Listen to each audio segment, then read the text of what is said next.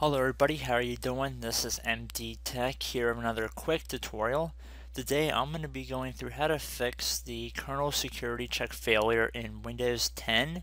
Uh, I believe this tutorial will also apply to users of Windows 8. Specifically, this should be a pretty straightforward tutorial. And in case you guys are wondering, this error usually tends to stem from your display adapter. So we're going to just jump right into it here. And we're going to start by heading over to the Start menu and we're going to type in Device Manager. Should be listed directly above the control panel, so you want to left click on that.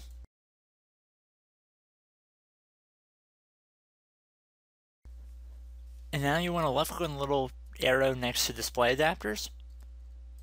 Whatever your display adapter is listed here, you want to right click on it, and then left click on Properties.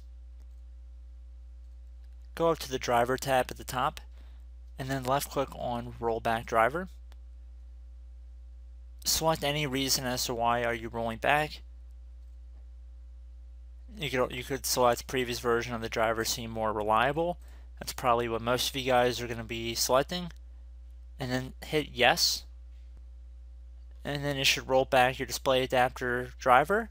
And hopefully once the latest driver comes out you can install it and it should work better. So, I hope this brief tutorial helped you guys out, and I will catch you in the next video. Goodbye.